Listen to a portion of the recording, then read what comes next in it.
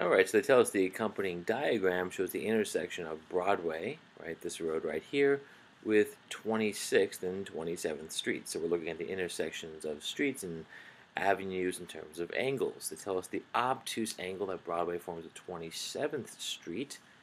Here's 27th Street, right?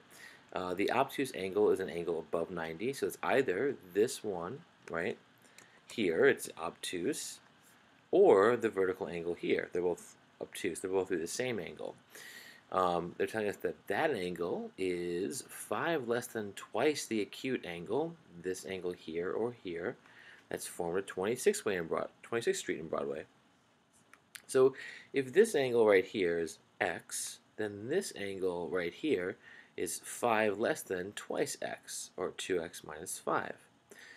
So these two angles, um, they add up to 180 because if you think about this angle and this angle being equal, right, they add up to 180 with this angle right here. They're supplementary to this angle. But this angle is an alternate interior to the one we're looking at over here, so they're equal. So that means that this angle x and 2x minus 5 add up to 180. So let's see what um, happens here. What's the value of x? x plus 2x minus 5 equals 180 degrees. That's 3x minus 5 equals 180 degrees. Add 5 to both sides. And we get 3x equals 185. I know 3 goes into 18. So I know 3 goes into 180 60 times. Right? So it goes into at least 60 times. But there's still 5 more to get here. We have 185. That's at least one more 3. So instead of 60 times, it's 61 times and 3 times 61 is 183.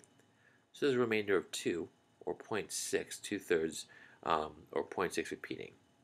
So here the remainder is 2, that's 2 thirds, or 0.6 repeating, and this is the value of x.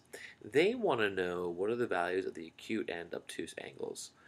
So the acute angle is the smaller angle, that's just x, and that equals um, 61 and a sixth, uh, 0.6 repeating, excuse me. So 61 and 2 thirds. Here, in the other angle, we have 2x minus 5, so let's evaluate that when x is 61.6. 2x minus 5. So 2 times 61 and 2 thirds, I like working with mixed numbers for operations, minus 5. 2 times 61 is 122. 2 times 2 thirds is 4 thirds, right?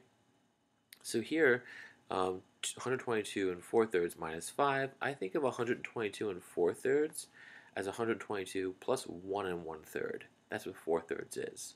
So it's 123 and 1 third. Right, those are equivalent. Minus 5. 123 minus 5 is 118. And we have a third, so it's 118 and a third degrees. That's the other angle. So if you add 118, right, and, uh, and a third, and 61 and two thirds, you will get 180 degrees. They are supplementary to each other. All right, thanks.